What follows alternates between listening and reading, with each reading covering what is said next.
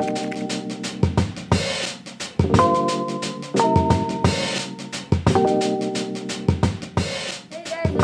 me again, your. And Amazing. So ngayon guys, ang ating gagawin for today is Magre-review tayo ng camera. camera na ginagamit natin. Itong camera na to guys, ginagamit namin for vlogging. Matagal na natin to nabili pero ngayon lang namin siya ipapakita. Kasi nga medyo busy and then ngayon lang namin talaga naisipan i-vlog itong camera to. Itong camera na to guys, ah, binili nila ng parents namin ng worth of 32,000 or something. Medyo pricey siya. Medyo pricey kaya dapat natin siyang ingatan. At yun guys. Papakita na natin yung box. Ayan. Ayan Ito. yung box. Pangalan pala nito is Canon G7X Mark II. Lahat ng vloggers, ito yung ginagamit nila, di ba? Usual na ginagamit ng vlogger. Ito talaga. Ayan. And then, ito na yung camera. So, yan, guys, makikita nyo yan. Maliit lang Siyempre, siya. open muna natin. Oh, diba? Oh. So, maganda dito, meron siyang flip screen. oh, flip screen. Pwede Hindi ka na mahihirapan.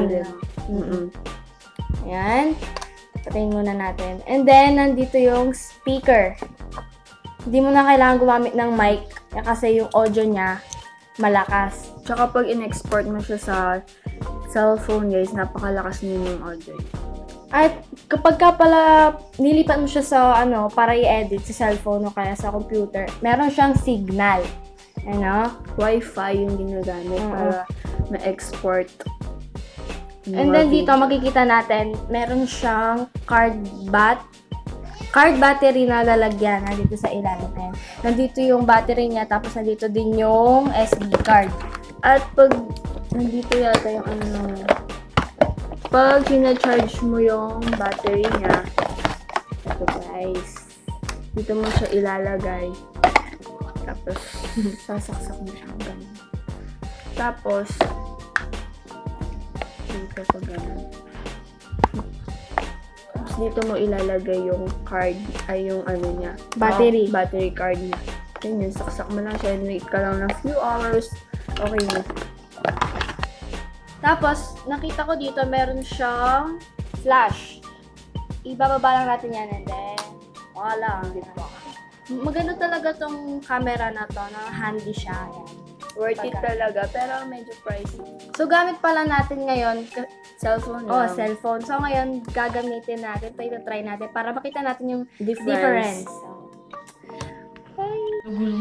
Hi guys! So, nagbabalik kami. Nagamit ito ulit. Ano daw? Nagamit na yung Nagamit na yung camera, oo.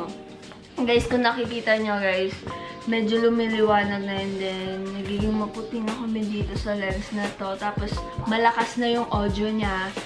At yun, ito na yung lagi namin gagamitin sa aming pag-vlog. Tsaka yung focus niya ang ganda. Mm-mm. Thumbs up. Pricey but worth it. Bye guys! At dito na lang namin tatapusin yung vlog. At huwag kakalimutan mag-subscribe.